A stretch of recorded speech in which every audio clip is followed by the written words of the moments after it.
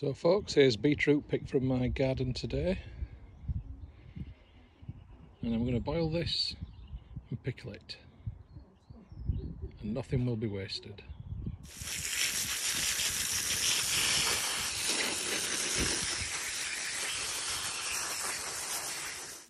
Okay, so I'm now in the kitchen and I've got the beetroot in the sink. I'm just letting it drain off. You'll see that there's very little waste with this recipe. I'm going to use the leaves as well. Uh, and in fact, it will virtually all be used um, somewhere. And there's the last of my apples, incidentally. It's been a good growing season this year.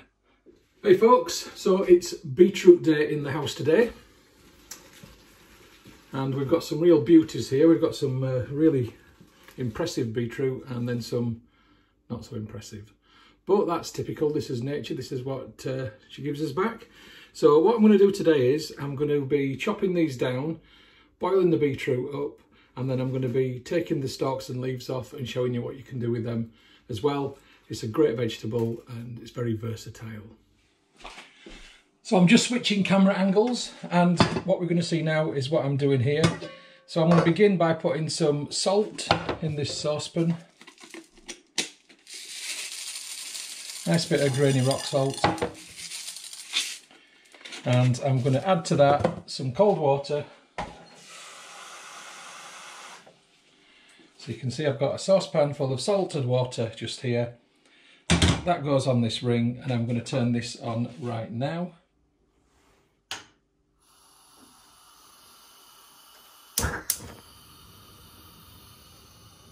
So I'm going to let the water boil and while that water's boiling I'm going to be uh, preparing the beetroot.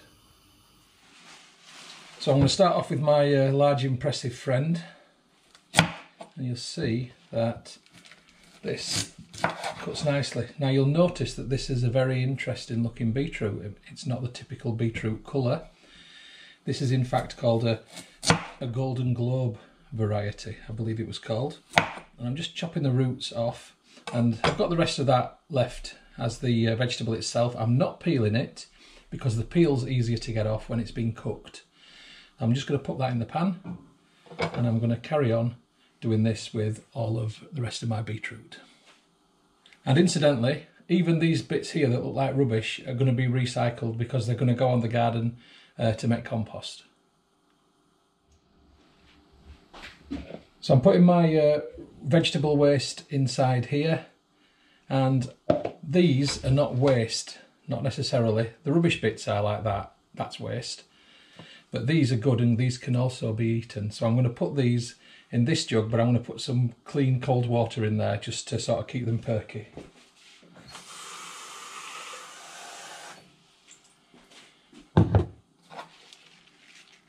So just again take all the rubbish off. And all these little bits we can get rid of. That will all form. Um, it will all go towards making uh, compost for next year. And these leaves I'm just going to put in here. I'm just sorting through them to make sure there's none which have got slugs, snails and other garden creatures on them. This is nature as it happens. That one's a bit eaten and black, so I'll chuck that one. And yeah, that's okay. They're fine. Keep that one. Rubbish. Yeah, they're okay and uh, you get little bits on them but it's uh, that's a bit brown get rid of that one and oh, that'll do okay so this is going to take me a while to go through them all so I won't film the whole thing because that won't be that interesting so I'll come back to you in a little while so I've got the beetroot in the pan as you can see the water's already starting to turn the colour of the beetroot and the water's just beginning to simmer now or it's just coming up to a simmer I've got all the leaves here and I'm going to be treating them uh, shortly. But my first job is to get rid of the waste and make some uh, bit of tidy space. So I'm going to put all this in the compost heap and then I'm going to come back in here. Okay, so the compost heap has now been uh, filled up with the remnants of the beetroot uh, stalks and uh, roots. And uh, now I'm going to uh, treat the leaves. I'm going to wash them, I'm going to chop them, I'm going to add them to some uh, chopped onion, and I'm going to stir fry them. And then they'll be uh, useful to have in a meal, which I'm going to have tomorrow actually, with some roast pork. Um, the beetroot leaves themselves and the stalks are full of vitamins. You can use them as a substitute for things like spring cabbage or Swiss chard. So let's see what happens. So I've just got a cold tap running and what I'm going to do is I'm going to just wash each leaf and make sure it is definitely clean, that there's no bits of grit, no stones and no bugs on there. So I'm going to go through, I've got quite a lot to go through. And then when I've done them, I'll start chopping them up. So I'm about a quarter of the way through the leaves, but um, it's getting a bit, uh, obviously a bit of a pile on the chopping board. So what I thought I'd do is start cutting them up now and adding them into this uh, bowl just here, just somewhere to put them for now uh, until I cook them. So I'm just going to go down, and this is, it's just a rough cut. You don't have to be fancy, nothing to show off about, but a nice big hefty knife that will get through easily is best and try not to knock your leaves onto the hob like I'm doing. You can see the stalks are really fibrous like celery and completely edible and really good for you. So I'm going to put that lot into this bowl just here and I'm going to repeat the process until I've done all of them and as you can see I've still got quite a way to go. So the beetroot is boiling away nicely now. Um, I'm going to let it let them boil for about 20 minutes, like you would potatoes. I'll stab them with a knife, make sure they're soft before I uh, turn them off. It looks like I'm going to need a bigger bowl because I've still got a long way to go. You get a lot of veg from beetroot. So the beetroot is still bubbling away. I've had to take the lid off because they began to boil over and that is what is left of the leaves and stalks. That was a monster effort, trust me. Next bit is to get some onions chopped. I've got a nice big wok and I'm going to put some extra virgin olive oil into that wok. Nice generous amount because there's going to be plenty going in there and a little bit of salt in the bottom. Again, give it some flavour as it's cooking. Right, onions. I'm using three red, two white. Uh, they're only medium-sized onions. In fact, they're actually quite small onions. And because there's so much beetroot leaves and stalks, I feel like I need to use more than I would normally use. But these aren't actually that big. So I'm just going to chop them and I'm going to put them into the wok. So you can see now that I've peeled them and taken the outer layer off that they're not actually huge onions at all. Uh, I always take the outer layer off as well as the skin because I find the outer layer a bit creepy. I don't know what you do, but I, I don't particularly like it. But I don't feel bad because nothing gets wasted. It all goes in the compost heap. Right, time to chop. So we can consider them chopped and now they're going to go into the wok. So I'm just going to fire the wok up. Okay, doesn't need to be raging. And then I'm going to put the onions into the wok.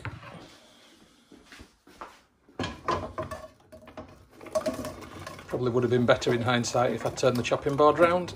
It's hard to film and tip. Now they're all in there and I'm just waiting for the uh, things to start cooking really. So there's a lot of wires going on. We've got the slow cooker out, ready to do a pork jointing. It's all going this house.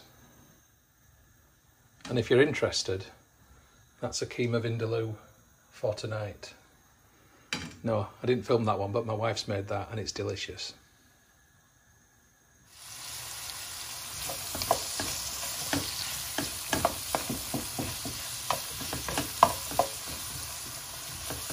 Love the smell of onions frying.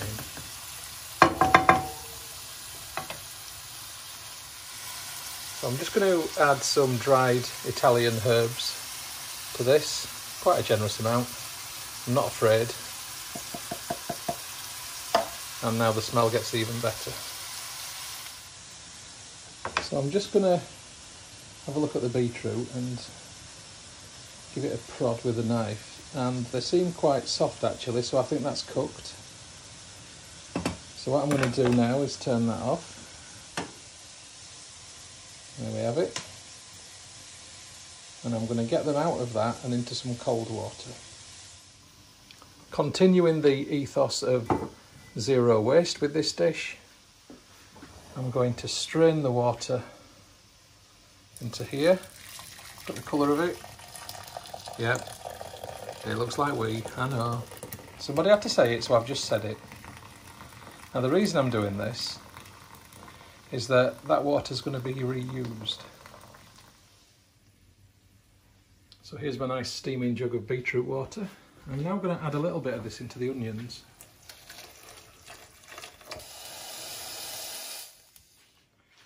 And the rest of it will be divided between the gravy I'm going to make tomorrow and if there is any left after that it will go on the plants in the conservatory. So no waste. I don't get on my soapbox very often. Well, maybe I do. But I think that waste is a symptom of having too much. And, you know, it's it's sad that people do waste things which can be reused. So I try, where as possible, not to waste anything. And that's one of the great things about these recipes. You know, beetroot from basically from the ground to your plate, zero waste. I think it's it's one of the best vegetables for doing this with. So I've just put some cold water onto the beetroot to help them cool down because uh, they're too hot to handle at the minute. And again, the water will go on the plants in the garden or in my conservatory. And you can see how easily the skin now comes off. It's quite hard to get off when they're not cooked. But I'm just going to let them all cool down a bit because I am actually slightly burning my fingers. I've put a lid on the wok while the onions are sweating um, and I just want that to sort of build up a nice bit of steam and, and get those onions cooked through and soft before I start to add uh, the beetroot leaves. I've now peeled all the beetroot and as you can see the skin is just there. It really did come off very easily actually so it's a great tip to peel them once they've been cooked and not before. And these are now going to be pickled and I'm pickling them now. It's October and I'm doing it in time for Christmas because we like pickled beetroot at Christmas. Although I might just try one.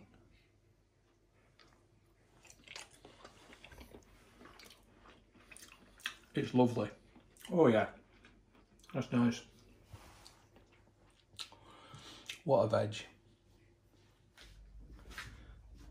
So here's my vinegar, my pickle jar. Inside there currently I've got onions, uh, some peppers and some other bits of veg and basically uh, I just keep topping it up with new veg and adding a bit more vinegar and sometimes a bit of sugar uh, when I need to and uh, yeah it's fantastic once the things are pickled then you know they keep for ages. I'm just going to tip this uh, mush onto the plants in my garden just to feed them and then I'm to come back over here and carry on with this part of it. And just in case you were wondering, the beetroot are now back in the pickling jar and they're going to stay there until Christmas.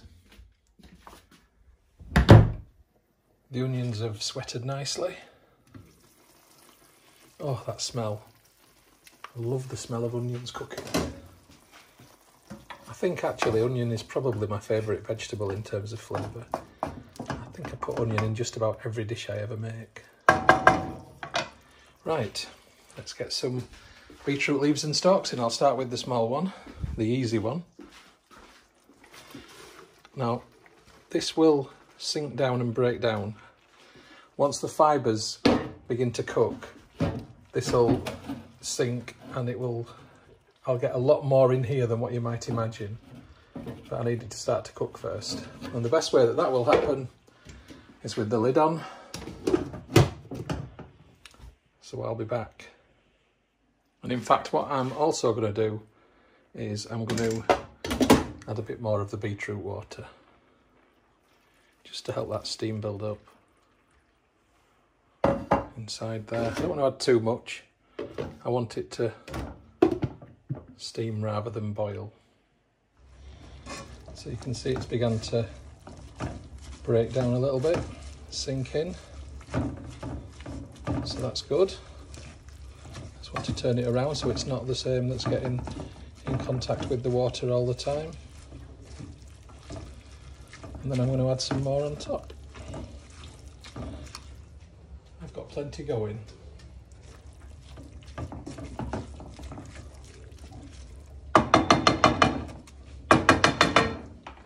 So I've now got it all in there and I'm just going to put the lid on top now and I'm just going to leave that to simmer away and steam away and uh, I'll come back to it in a little while, probably 20 minutes or so. A good uh, 25 minutes has gone now and you can see it's really begun to break down and there's a lot of juice come out which is good. I'm going to let it cook for another five minutes and then I'm going to go to the next stage which is to add another ingredient. Let's wait and see. Right, nice and steamy. So that is cooked absolutely beautifully. Look at all the juice that's come out of it. It's really broken down. And now I'm going to add the next ingredient. You're not going to be expecting this one, which is porridge oats. Now, if you have ever lived on in Calderdale in West Yorkshire, Hebden Bridge, Mytholmroyd, Sowerby Bridge, then you might be familiar with something called dock pudding. It's a special variety of dock leaves which grows around that area. It doesn't grow anywhere else. And um, dock pudding is made in this way with the dock leaves. However, chard is a good substitute. And because chard's a good substitute, I'm assuming that these beetroot leaves and stalks will be as well. So what I'm going to have to do now is just to let this continue to simmer and I need the moisture to be uh, soaked up. So I'll probably just have to keep having a, adding a few more um, bits of oats and we'll see what happens from there.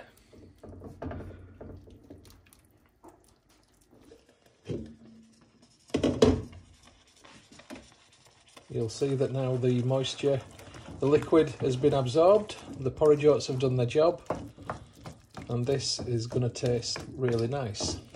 It might not look it, but trust me, it really does taste good.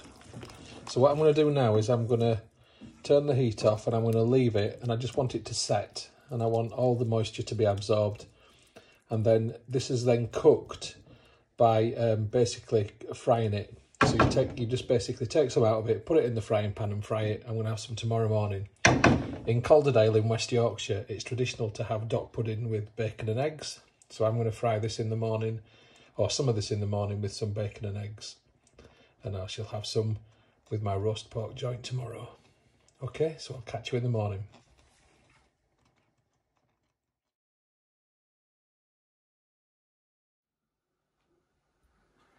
It's Sunday morning, I've got breakfast beginning. The water's beginning to boil for the poached eggs. I've got bacon and sausage and mushroom in the pan.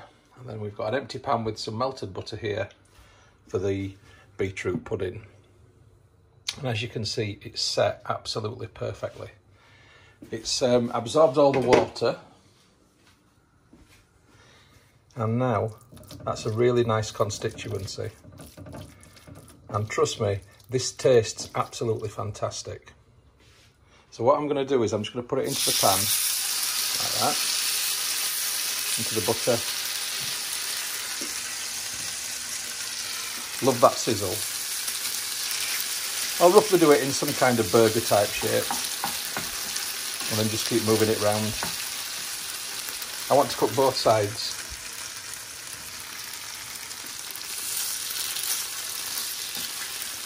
But this is literally beetroot leaves, stalks and oats. It's actually vegan. Never even considered that, but it is. Although The rest of the breakfast definitely isn't. And what you fry it in obviously determines whether it remains vegan. I'm actually using butter, so it isn't vegan.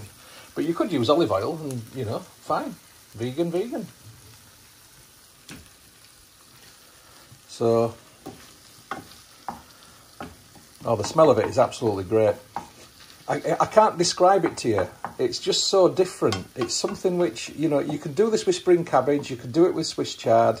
It's originally done with dock leaves, but like I said before, a special variety of dock leaves that grow around Calderdale.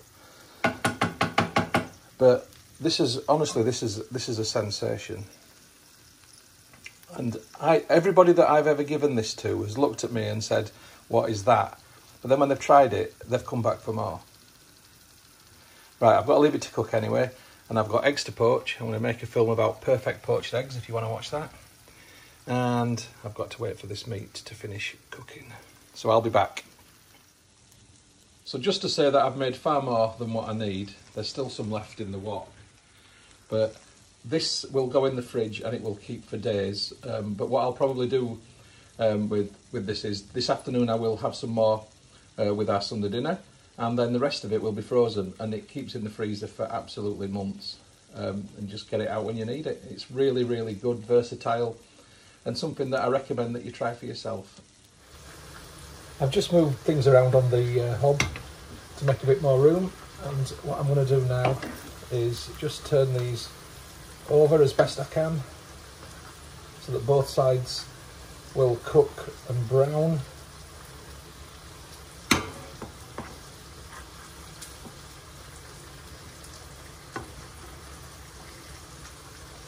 very loose.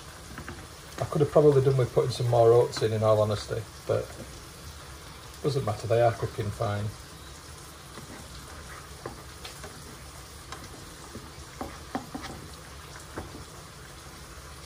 I know the flavour's there, and I know all of the vitamin D, particularly that comes in these, is there. And I know there won't be any complaints, which is the best bit.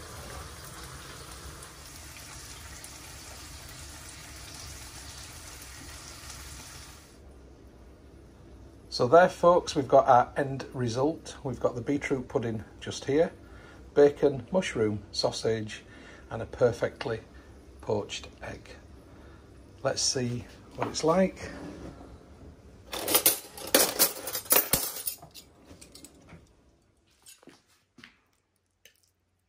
So this is uh, for my wife who's been on a five mile run this morning, so she deserves a good breakfast. How's the beetroot pudding? It's lovely. Really? Mm. Fantastic. So there you have it, folks. Success. So I'm happy about that. I hope you enjoyed watching the film. So that was beetroot from garden to plate, zero waste, pickled beetroot, and then beetroot leaf pudding. So no wastage, the water's been reused, and all the bits of foliage which I haven't been able to eat have gone into compost. So Thanks for watching. Hope you liked it. Catch you next time.